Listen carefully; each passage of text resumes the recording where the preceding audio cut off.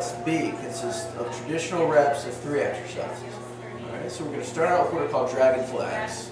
This is like reverse crunch, the only difference is extending the legs up and coming back.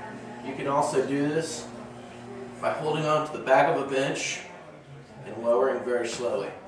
The next exercise are V crunches. Hands behind you, just coming together, followed by V sits.